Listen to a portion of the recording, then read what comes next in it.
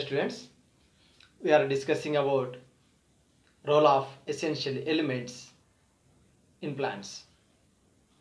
Under this topic today we are discussing about deficiency symptoms of essential elements and also toxicity of essential elements.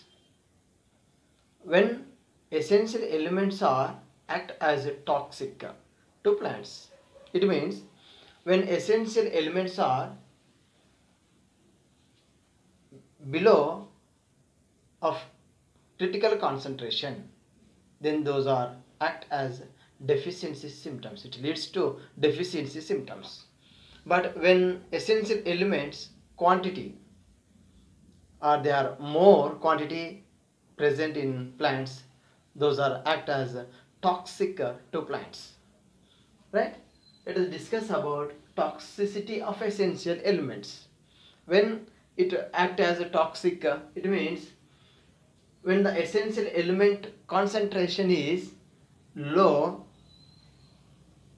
of critical concentration then that leads to deficiency. When concentration is low of that essential element that is called deficiency. It shows deficiency symptoms in plants.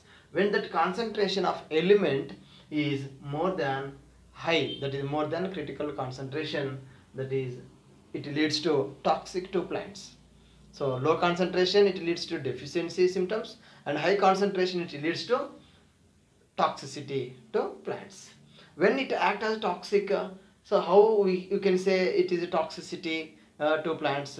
It means when 10% of mineral ion concentration 10% of mineral ion concentration is reduced 10 when 10% of mineral ion concentration is reduced when comparing to dry weight of tissues then that is called that element is toxic to plants or toxicity.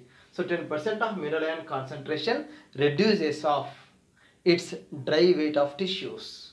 That is considered as toxic to plants.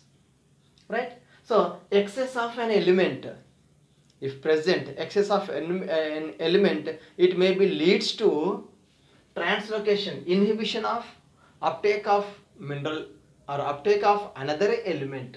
It inhibit uptake of another element. So excess of an element inhibit uptake of another element in some uh, elements. Right. For example manganese. When manganese is excess in plants then it leads to toxic uh, to that plants. Right? Why? Because uh, when uh, manganese toxicity uh, the character of manganese toxicity is brown spots surrounded by chlorotic veins. Brown spots surrounded by chlorotic veins. This character is character of manganese manganese toxicity right. And also when excess of manganese is present in plants that manganese competes with iron and magnesium for uptake. Excess of manganese when present in plants then these manganese competes with iron and magnesium for uptake right? And also when excess of manganese is present in plants it also compete with magnesium for binding enzyme. For binding with enzyme. So when excess of manganese is present in plants it competes with iron and magnesium for uptake. And also it competes with magnesium for binding with enzyme. Right? It means manganese inhibits manganese inhibits the calcium translocation of shoot apex so it also when manganese is excess amount is present in plants that manganese inhibits calcium translocation in the shoot apex it controls the translocation of calcium.